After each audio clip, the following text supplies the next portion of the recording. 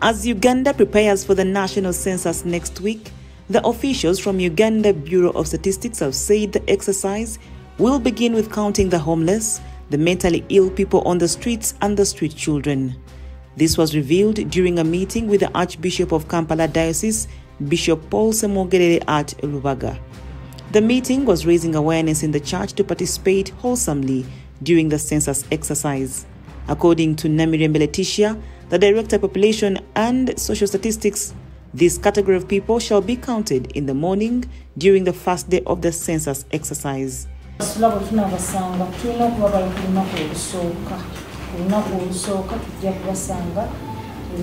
babeera ku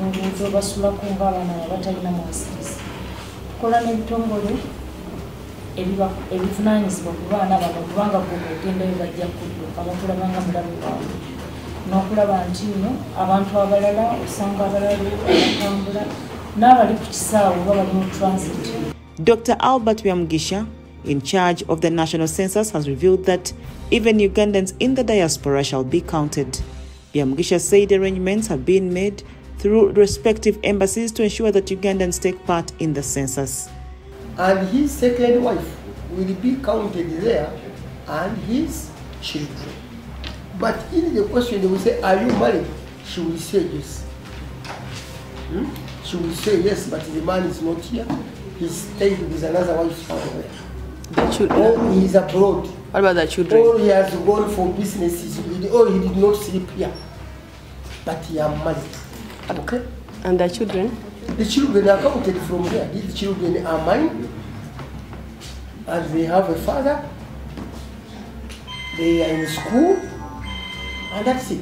The census exercise, which is to last 10 days, will start on 10th of May 2024 and it will be declared a public holiday in Uganda.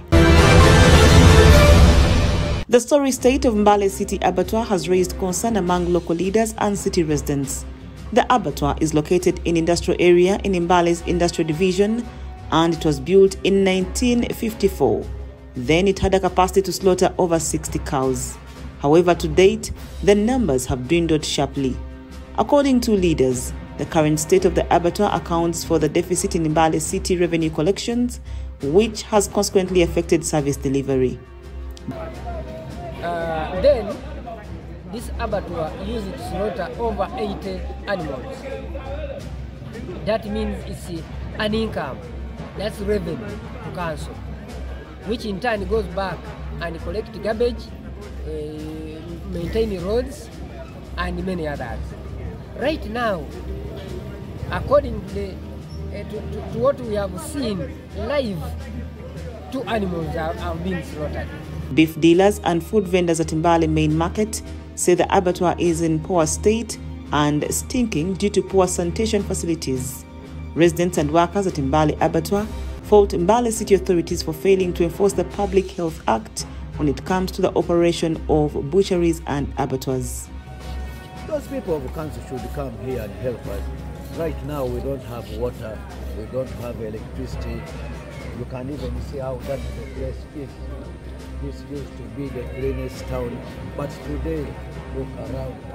So we are begging these people of council at least to come and put in a hand. Characterized by broken sanitary facilities, cracked walls, broken windows, and no perimeter fencing, the facility has not seen any major renovation since its inception in decades. With the status quo, the ability from Mbale City Council to collect deserving revenue from the facility is far from being realized. At the same time, the facility remains a health hazard to Mbale residents. The death toll from a collapsed highway in southern eastern China climbed to 48 on Thursday, as such as dug for a second day through a tremendous and mountainous area. One side of the four-lane highway in the city of Meizhou gave way about 2 a.m. on Wednesday after a month of heavy rains in Guangdong province. 23 vehicles fell down a steep slope, some sending up flames as they caught fire. Construction cranes were used to lift out the burnt out and mutilated vehicles. Officials in Meizhou said three people were unidentified, pending DNA testing. It wasn't immediately clear if they had died which would bring the death toll to 51. Another 30 people had non life threatening injuries. The search was still ongoing. The city mayor, Wang Hu, said at a late afternoon news conference. The highway section collapsed on the first day of a five day May Day holiday when many Chinese are traveling at home and abroad. Chinese leader Xi Jinping said that all China's regions should improve their monitoring and early warning measures and investigate any risks to ensure the safety of the public and social stability.